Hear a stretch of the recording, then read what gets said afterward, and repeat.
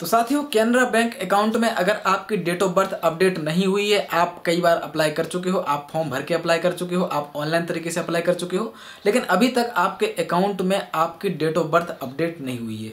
तो इसका रीज़न क्या होता है? आप कौन कौन सी मिस्टेक करते हो, क्या गलतियाँ करते हो, जिससे कि आपके कैनरा बैंक अकाउंट की डेट ऑफ़ बर्थ अपडेट नहीं हो पाती है? आज हम खुलकर बात करने वाले हैं, और इसके साथ हम ये भी बात करेंगे कि आप कैसे अप्लाई कर सकते हो। बिल्कुल सही तरीके से, जिससे कि आपकी डेट ऑफ़ बर्थ पूरी तरीके से चेंज हो जाए या अपडेट हो जाए। वीडियो बहुत ज़्यादा हेल्पफुल होने वाली है, इसलिए मेरी आपसे एक छोटी सी रिक्वेस्ट है, आपको अपने चैनल को सब्सक्राइब कर लेना है और वीडियो को लाइक कर लेना है, क्योंकि ऐसे ही हेल्पफुल कॉन्टेंट मैं आप सभी के साथ शेयर करता रहता हूँ। चलिए फ्रेंड शुरू करते हैं। तो साथियों, अगर कैनरा बैंक अकाउंट में आप अपनी डेट ऑफ़ बर्थ अपडेट करने के लिए कोई भी फॉर्म फिल किए हुए थे या फिर ऑनलाइन तरीके से आप कोई भी रिक्वेस्ट किए हुए थे, लेकिन अभी तक आपके अकाउंट में आपकी डेट ऑफ़ बर्थ चेंज नहीं हुई है, अपडेट नहीं हुई है तो इसका रीज़न क्या है? आपने क्या मिस्टेक की होगी? और आपका सॉल्यूशन कैसे मिल सकता है? आज की वीडियो में मैं आपको प्रॉपर बताने वाला हूँ। मैं आज आपको लाइव बताऊँगा और अगर आप वीडियो बहुत अच्छे से देखते हो, शुरू से लेकर एंड तक देखते हो, तब जाके आपको आपकी मिस्टेक भी समझ में आएगी और आप बहुत आसान तरीके से अपनी डेट ऑफ़ बर्थ को अपडेट भी करवा पाओगे।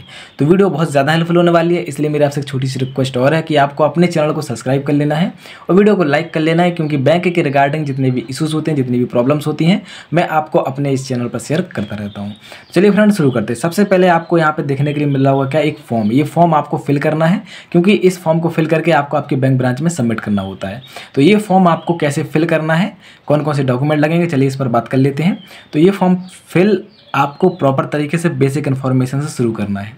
अब बहुत से लोग ये सोच रहे होंगे, भाई, ये फॉर्म मिलेगा कहाँ? तो साथियों ये फॉर्म आपको आपके बैंक ब्रांच में भी मिल जाएगा और आप चाहो तो इस पर्टिकुलर फॉर्म को अपने गूगल क्रोम ब्राउज़र से भी डाउनलोड कर सकते हो। चलिए, अब इसको फिल करते हैं हम लोग। यहाँ पे दिख रहा होगा क्या फॉर्म फॉर्म में आपको आपका एड्रेस फिल करना है, जो कि आपके पासबुक में दिया गया होगा। To the branch manager branch का नाम आपको दिया गया होगा ब्रांच का नाम फिल कर देना है। My account number account number आपके पासबुक में दिया गया होगा अकाउंट नंबर फिल कर दीजिए। कस्टमर आईडी आपको दी गई होगी। बहुत प्रॉपर तरीके से कस्टमर आईडी आप यहाँ पर फिल कर दीजिए कस्टमर आईडी अगर आपको नहीं पता तो आप कोई दिक्कत नहीं, इसको खाली छोड़ सकते हो। फ़ोन नंबर, मोबाइल नंबर आपका जो भी है, वो आप यहाँ पे फिल कर दीजिए। मोबाइल नंबर आप फिल कर सकते हो बहुत प्रॉपर तरीके से। अगर आपके खाते में मोबाइल नंबर लगा हुआ है तो मोबाइल नंबर फिल कर दीजिए। ईमेल आईडी बहुत प्रॉपर तरीके से आपको यहाँ पे फिल कर देनी है। अगर आपके खाते में कोई भी मेल आईडी लगी हुई है तो फिल कर दीजिए। अदरवाइज़ अब प्रेजेंट में जो इस्तेमाल कर रहे हो, वही मेल आईडी आप यहाँ पर फिल कर सकते हो। तो ये तो थी हमारी बेसिक इन्फॉर्मेशन जो हम फिल कर चुके हैं। चलिए, अब बात करते हैं अपनी प्रॉब्लम की। तो प्रॉब्लम क्या है हमारी? प्रॉब्लम पहले वाले पेज पर आपको देखने के लिए नहीं मिल रही होगी। चलिए, आते हैं सबसे दूसरे वाले पेज पर। तो यहाँ पे आपको दिख रहा होगा बारहवें नंबर पर date of birth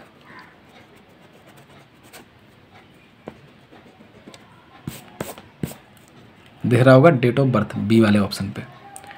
date of birth आपको दिख रहा होगा। Date of birth not updated through proof of date of birth submitted on देखिए डेट ऑफ़ बर्थ मैं आपको बता देता हूँ कि जब भी आप डेट ऑफ़ बर्थ अपडेट करवाओगे तो आपको कोई एक प्रूफ ज़रूर देना पड़ेगा कि भाई ये मेरी डेट ऑफ़ बर्थ सही है और इसके बेसिस पर या इस डॉक्यूमेंट के बेसिस पर आप मेरी डेट ऑफ़ बर्थ चेंज कर दीजिए।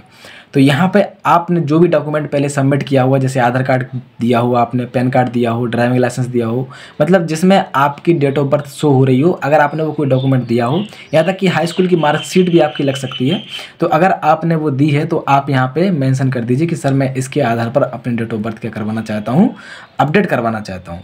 अगर आपका आधार कार्ड है, आधार कार्ड में डेट ऑफ़ बर्थ आपकी सही है तो आप यहाँ पे आधार कार्ड लिख दीजिए, सीधी सी बात है, आधार कार्ड आप यहाँ पे लिख दीजिए। आधार कार्ड लिखने के बाद थोड़ा सा नीचे आ जाना है। यहाँ पे आपको दिख रहा होगा डेट डेट आपको उसी दिन की फिल करनी है, जिस दिन आप ये फॉर्म अपनी बैंक ब्रांच में सबमिट करो। सीधी सी बात है।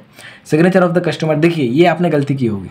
मैं आपको बता रहा हूँ, बहुत से जो हमारे यूज़र्स होते हैं, यहाँ पे सिग्नेचर में मिस्टेक कर देते हैं। जल्दबाजी में कुछ भी सिग्नेचर कर दिया, फिर कहेंगे, सर, मेरा फॉर्म रिजेक्ट हो गया। क्यों? क्योंकि आपके सिग्नेचर आपके सिस्टम से मैच ही नहीं किया। सीधी सी बात है, आपके खाते से आपके सिग्नेचर मैच नहीं किए।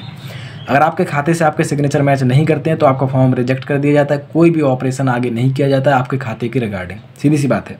तो यहाँ पर सबसे पहले आपको आपके सिग्नेचर करने हैं और वही करने जो कि आपके खाते में लगे हुए हैं। अगर आपको नहीं पता मेरे खाते में कौन से सिग्नेचर लगे हुए हैं भाई तो सीधी सी बात है, आपको आपका आधार कार्ड लेकर आपके बैंक ब्रांच में पहले जाना है और आपको आपके सिग्नेचर को वेरीफाई करा लेना है। उसके बाद आपको सही सिग्नेचर यहाँ पे कर देने हैं। सिग्नेचर आपके कंप्लीट हो गए।